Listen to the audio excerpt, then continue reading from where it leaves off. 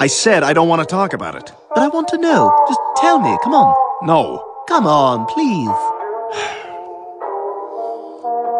I keep it in case I ever want to commit suicide, okay? Wow. Oh, my god, You're you're serious?